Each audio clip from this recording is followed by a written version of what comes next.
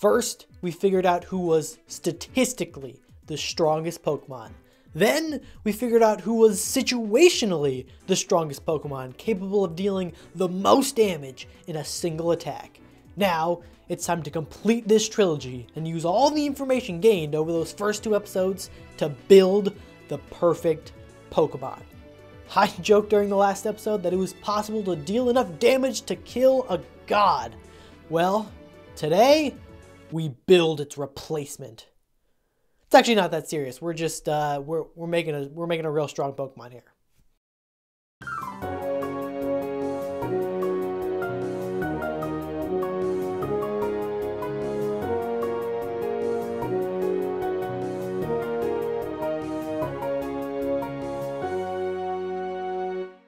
Before we get into the actual video though, I wanted to address something that's come up a bunch since the release of my first video finding the strongest Pokemon.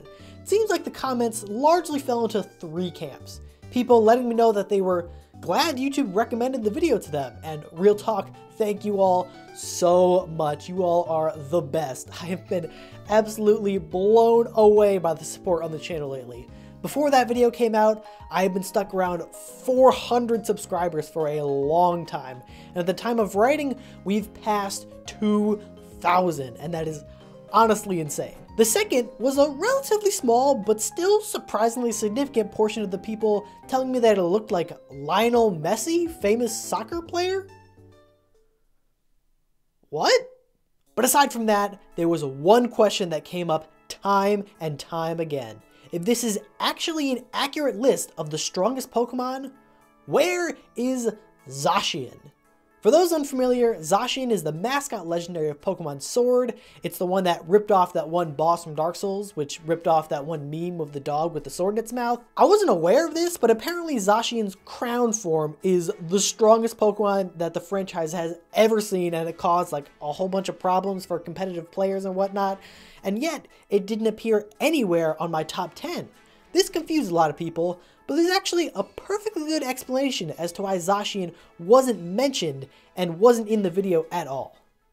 Because it wasn't on the damn list! I said in the video that the list I was using included Pokemon up through Generation 7, and adding in the Generation 8 Pokemon would have taken way too long, so I just made some throwaway joke about toxic Generation 8 Twitter discourse and called it a day. Now, apparently, this was a mistake because Zacian has some serious stands. Or haters, I honestly can't tell. And you know what? Looking at it, yeah, you're probably right. Zacian does seem like a very strong Pokemon, maybe even the best. It's Steel Fairy type, which has the best resistances in the game. It has insane attack, and its ability Intrepid Sword gives it a free attack boost at the start of every battle, which seems like pretty good. Not like game breaking to me. Download has always been an ability for a while, but apparently this thing is just insane. And you know what? I'll take your word for it. But quite frankly, after this whole ordeal, I'm a little sick and tired of Zacian. I'm tired of people calling it the Bret Hart of Pokemon, the best there is, the best there was, and the best there ever will be. Because while Zacian might be the strongest Pokemon right now, I can do better. Richard, my lab coat. You still don't have the. It's been two weeks and you still didn't get the lab coat. Just go on Amazon, look up lab coat, and hit ship to here. You don't even have to go out and get it. No, I don't care about supply chain issues. It's it's literally a white coat. So, in order to build the perfect Pokemon, we first need to understand what makes a Pokemon strong in the first place. I talked about it in more detail in my strongest Pokemon video that I keep referencing, so I'll make it quick here. In general, we want to look at their base stats and base stat distribution, type combination, ability, and moveset. I'm going to try and build something that excels in all of these categories while also staying somewhat realistic. It would be real easy to say, eh, yeah, just give it 10 trillion in every stat and an ability that makes it invincible, call it a day. But that's lame. I want to build something that could actually appear in a Pokemon game, so I also won't be resorting to any obscure gimmicks like Shedinja with Sturdy or something like that, because I'm saving that for another video. Let's start off with something simple, type. I determined in a previous video that the type combination with the most resistances is Steel and Fairy, so it seems like a pretty obvious jumping off point. And, and so that's the, the point we'll be jumping off from. Look, I couldn't figure out a good way to end this section. Next, let's go back to basics. Base stats. Get it? Get it? Base? Basic? Man, entomology is crazy. At this point, we all know that Pokemon is a game of math, and the base stats are the driving factor behind that. There are six different base stats in total, and each one controls a different aspect of a Pokemon. The easiest to understand is speed. If your speed stat is higher than your opponent's, you go first. HP is also pretty clear. It determines how many hit points you have, or basically how many hits you can take and keep on kicking. Attack and defense determine how much damage you deal and take from physical attacks, and special attack and special defense are the same for special attacks, which is generally more like ranged attacks if you wanted to think about it that way. We're building the strongest Pokemon, so the most obvious thing to maximize in terms of stats is raw damage output. This means that we want to focus on our attack or our special attack, but we probably don't need both. So this brings us to our first question. Which is better? Should a Pokemon be dropping fools with stone cold stunners left and right, or blasting away at a distance? When I first started to look into it, the answer seemed pretty obvious, because for whatever reason, Game Freak has a personal vendetta against physical attackers. Looking at my old spreadsheet and crunching some numbers, there are significantly more Pokemon with a defense of 90 or above compared to special defense.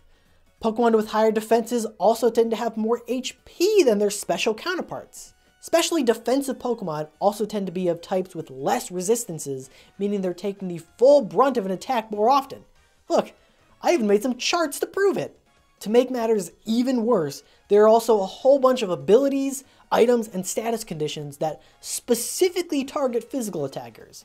Intimidate lowers the attack of your opponent's Pokemon whenever you hit the field, and there's nothing like this for special attackers. Rough Skin and Rocky Helmet damage an opponent if they hit you with only a physical move, or a move that makes physical contact. I know they're not always one and the same, but they usually are. And status conditions like burn and confusion disproportionately harm physical attackers when compared to their special counterparts. What I'm saying is, special attackers tend to have a much easier go of it. It seems like Game Freak subscribes to the brains over brawn philosophy, which, you know, means a lot. I'm, I'm, it, so it seems pretty clear to me, if we want to build the perfect Pokemon, let's juice that special attack to the max and dump our attack faster than our perfect Pokemon will inevitably be.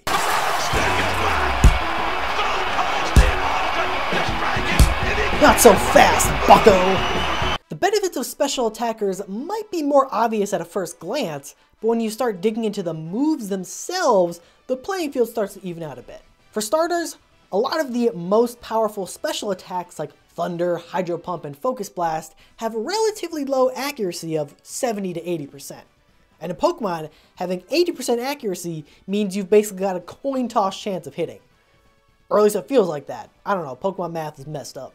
On the other hand, some of the strongest physical attacks like Earthquake, Close Combat, and Outrage all have 100% accuracy. Frankly, it's rare to find a physical attack above 100 base power with less than 85% accuracy. Physical attackers also tend to have an easier time boosting their stats with moves like Swords Dance and Dragon Dance being widely accessible. Special attackers get moves like Nasty Plot or Quiver Dance, but not as many Pokemon gain access to them. I think the real question here is, why is everyone dancing so much? As a couple of other quick points, most of the priority attacks in the game are physical, and the Steel Fairy typing is much better to being a physical attacker. Fairy is slightly more specially oriented, but Play Rough is still a very strong physical move, and Steel has a total of three special attacks, four if you count Dynamax moves, and I'll be honest, none of them are great. All that is basically a very long-winded way of saying, yeah, we're making our attack the highest and we're dumping the special attack. If we're going for a heavy-hitting Pokemon, then speed is probably the next most important. Sure, having good defenses is good for being able to take attacks, but a much better way to do that is to just one-shot whatever you're facing before they can hit you to begin with. Lastly, HP defense and special defense are all still pretty important. We want to be able to at least take a few attacks before going down. So I'd say anything above 90 for those is good enough. We've got typing and base stats down. Now let's move on to the attacks. Obviously, if our perfect Pokemon is a Steel and Fairy type, then we're going to want to have access to some strong moves in those types like, I don't know, Play Rough, Iron Head, maybe a good setup move like Swords Dance, and then something for type coverage. Luckily, the Pokemon database has this nifty little tool that lets you select a bunch of types and it'll show you how many Pokemon you can hit super effective, normal effective, and so on. With the setup we've got, having access to a good ground type attack will let us hit the most things super effective in the game, and pretty much everything else we can hit at at least normal effective. So, our perfect Pokemon will have plenty of strong stab moves, a good setup attack like Swords Dance, and then a few ground attacks peppered in for good measure. Are you starting to picture it in your mind yet? We've got a solid hitter on our hand, so all that's left is to give it a killer ability that'll tie the whole thing together. I contemplated giving it a great defensive ability like Intimidate or Multiscale or something, but ultimately I decided that we should play to the strengths we've already established and pick something that'll juice up our attacks even more. And there you have it. I've laid out all the pieces, and when combined, I think they make a skeleton for the truly strongest Pokemon imaginable. A physical powerhouse, quick as lightning, with the type coverage and ability to strike down nearly anyone in a single blow. And on the off chance someone survives an attack or outspeeds it, it's got the defenses and resistances to stick around to keep on kicking.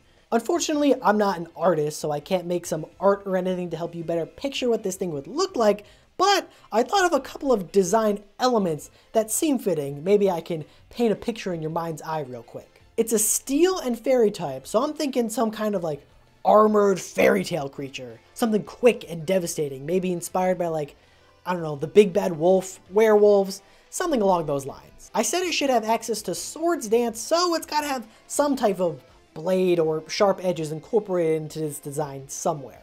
And this is a very powerful Pokemon, so it's got to be something divine looking with a very regal qualities about it. Maybe a nice like blue and gold color scheme. I think that would be nice. And there you have it. Like Dr. Frankenstein before me, I have constructed the perfect Pokemon. Something completely original, something that would surely turn the whole competitive scene on its head as soon as it arrived.